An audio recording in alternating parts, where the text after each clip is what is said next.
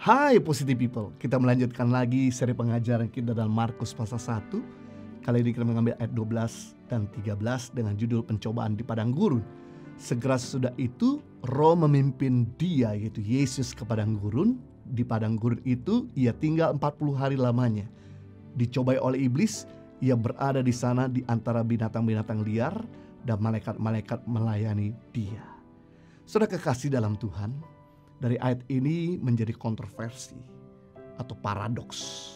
Karena biasanya Roh Kudus yang membawa pada suatu kemenangan. Roh Kudus yang memimpin Yesus melakukan banyak mujizat dan pekerjaan-pekerjaan yang spektakuler.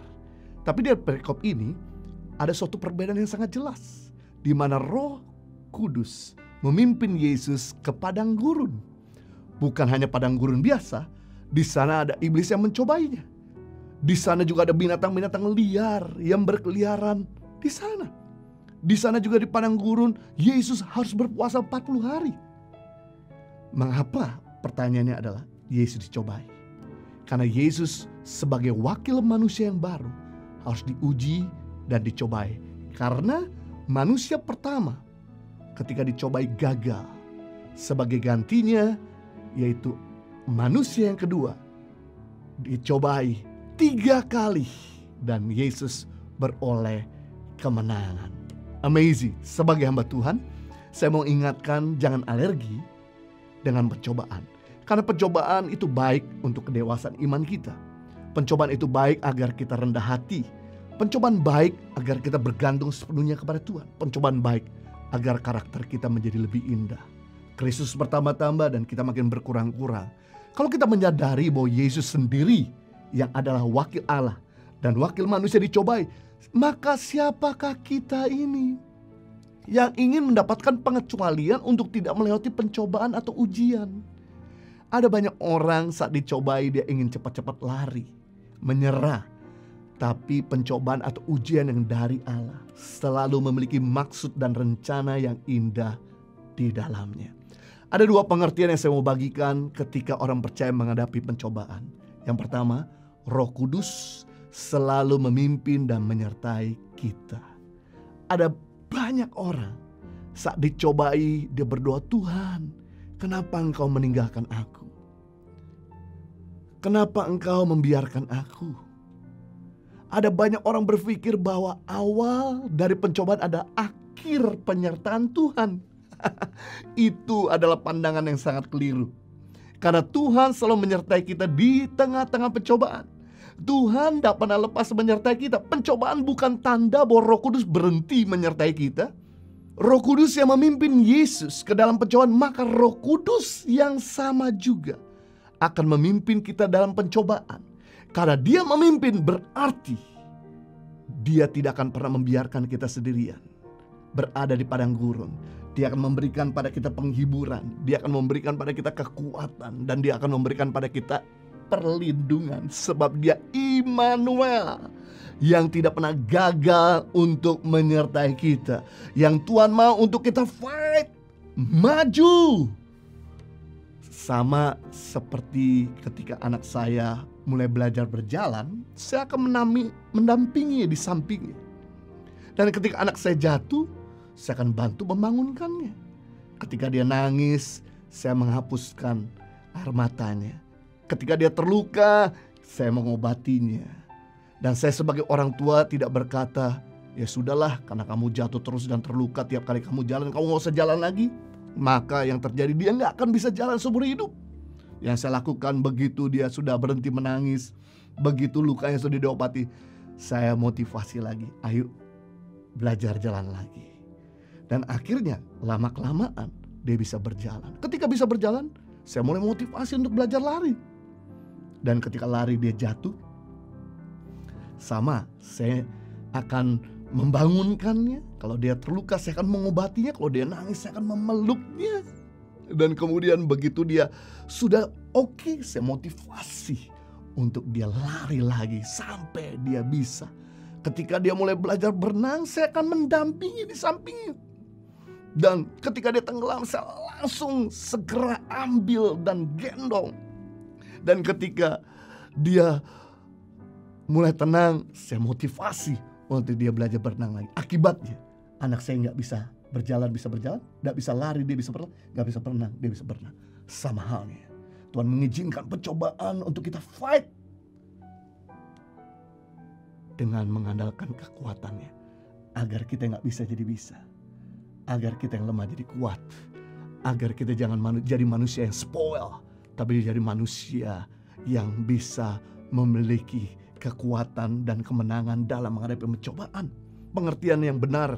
Yang kedua, mengenai ketika kita mengalami pencobaan, sering kali saat kita mengalami pencobaan, kita tidak melihat waktu yang singkat. Mungkin kita sudah berdoa karena anak kita sakit agar cepat sembuh. Belum anak sembuh, masalah lain-lain datang. Belum lagi masalah lain-lain selesai dan kemudian datang lagi yang lain makin menumpuk. Sekali lagi saya mau tegaskan bahwa saat kita mengalami pencobaan, kita tidak melihat waktu yang singkat. Karena Yesus sendiri ketika dicoba dia mengalami pencobaan dan dia harus berpuasa 40 hari, 40 malam. Tetapi saya mau ingatkan bahwa pencobaan-pencobaan yang datang dalam kehidupan kita tidak pernah melebihi kekuatan kita. Dia akan memberikan jalan keluar. Yang penting di sini kita jangan give up sampai dia memberi jalan keluar. Sebab kalau dia belum beri jalan keluar, kita tidak akan pernah menang. Dan kalau kita nggak pernah lulus di sini, akibatnya kita akan terus stay di level yang sama. Yang penting di sini adalah jangan kita ikut tawaran dari si pencoba.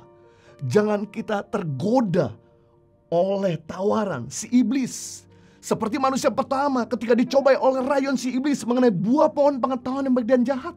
Lalu mereka tergoda dan mereka mengikuti hawa nafsunya. Akhirnya mereka gagal jatuh ke dalam dosa. Ternyata taktik yang sama yang dipakai oleh si pencoba, si iblis datang kepada Yesus di akhir 40 hari puasa Yesus. Jadi kita bisa melihat di sini iblis datang bukan pada waktu Yesus kenyang. Iblis datang pada waktu Yesus lapar. Iblis tidak datang pada waktu Yesus kuat. Tapi iblis datang ketika Yesus mulai lemah. Jadi kita belajar bahwa teknik taktik si iblis selalu berusaha untuk mencoba merayu, menggoda agar kita mengikuti kemauannya. Ada tiga pencobaan yang iblis lepaskan, yang iblis lakukan, yang iblis coba goda kepada Yesus. Yang pertama, pencobaan berbagai kebutuhan dan keinginan fisik, keinginan mata. Dalam Matius pasal 4 ayat 3 sampai 4. Ketika Yesus mulai lapar, iblis datang untuk memerintahkan batu-batu ini jadi roti. Iblis sedang menggoda Yesus untuk menggunakan kuasa ilahinya mengubah batu jadi roti. Walaupun Yesus sanggup. Tapi yang menarik, Yesus tidak tergoda oleh tawaran si iblis. Tapi Yesus berkata, ada tertulis, manusia tidak hidup oleh roti saja, melainkan dari setiap firman yang keluar dari mulut Allah. Amazing Ketika kita mengikuti keinginan iblis, kita akan jatuh dalam dosa. Tapi ketika kita mengikuti keinginan Allah, kita akan berkemenangan. Yang menjadi pertanyaan, bagaimana Anda ketika Anda sendirian? Anda melihat gambar-gambar yang berkualitas atau melihat gambar-gambar yang kotor? Bagaimana Anda seandainya Anda di luar kota jauh dari keluargamu? Apakah Anda melakukan hal-hal menyenangkan keluargamu atau Anda melakukan hal-hal yang mendukakan keluargamu? Bagaimana dengan Anda seandainya pimpinanmu meminta engkau mengerjakan satu proyek? Apakah Anda menggelembungkan harga proyek tersebut atau memberikan harga proyek yang terbaik? Pencobaan yang kedua yang dilepaskan iblis kepada Yesus yaitu pencobaan kesombongan, keangkuhan hidup. Dalam Matius pasal 4 ayat 5 sampai 7 kemudian iblis membawa ke kota suci yaitu Yerusalem dan menempatkan di atas bait Allah Lalu berkata kepadanya jika engkau anak Allah jatuhkan dirimu ke bawah. Sebab ada tertulis mengenai engkau ia akan memerintahkan malaikat-malaikatnya. Dan akan menggendong engkau di atas tangannya supaya kamu jangan jatuh. Sekali lagi, Yesus nggak tergoda untuk menggunakan kuasa ilahinya. Walaupun malaikat ada di bawah perintah, di bawah kekuasaan Yesus. Yesus tidak mau mendengarkan nasihat si penggoda. Dan Yesus berkata, ada tertulis, janganlah kau mencobai Tuhan Allahmu. Iblis kaget. Dia coba berpikir lagi dengan strategi yang lebih jitu. Yang ketiga pencobaan dilepaskan iblis kepada Yesus yaitu pencobaan harta benda dan kekuasaan keinginan daging. Matius pasal 4 ayat 8 sampai 10 iblis membawanya pula ke atas gunung yang sangat tinggi, memperlihatkan kepada semua kerajaan dunia dan kemegahannya dan berkata kepada semua ini akan kuberikan kepadamu jika engkau sujud menyembah aku. Yesus kok ditawarin harta benda, kekuasaan. Dia pemilik segala-galanya. Langsung Yesus berkata, Enyalah iblis, sebab ada tertulis, engkau harus menyembah Tuhan Alamu. Hanya kepada dia sajalah engkau berbakti. Amazing. Yang penting di sini adalah kita belajar seperti Yesus. Tidak mengikuti tawaran si penggoda. Jangan mengikuti hawa nafsu tapi kita harus mengikuti firman kebenaran. Sebab ketika kita melakukan firman kebenaran, iblis akan lari daripada kita. Jadi iblis lari bukan karena dari tengking, iblis lari ketika kita melakukan kebenaran. Yakobus 4 ayat 7, tunduklah kepada Allah dan lawanlah iblis, maka ia akan lari padamu. Apa yang terjadi ketika iblis lari meninggalkan Yesus? Maka Bapa memerintahkan malaikat-malaikat untuk melayani Yesus, menyediakan makanan, menikmati sukacita, menikmati minuman. Satu gambaran ketika kita menang atas pencobaan yang kita hadapi, maka Bapa akan mengirimkan yang terbaik, penghiburan, sukacita, berkat yang tidak pernah terpikirkan akan menghujani kehidupan kita. Jadi kita belajar ada dua pengertian yang baik ketika kita menghadapi pencobaan. Yang pertama, Roh Kudus selalu memimpin dan menyertai kita. Yang kedua, sering kali saat kita dicobai, kita tidak melihat waktu yang singkat. Bertahanlah, tetap kuat. Ketika kita sadar dua hal pengertian ini membuat kita kuat. Membuat kita nggak alergi terhadap pencobaan. Membuat kita semakin indah. Live a better life. God bless you.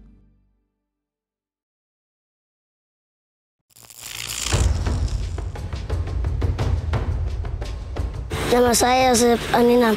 Cita-cita saya menjadi presiden.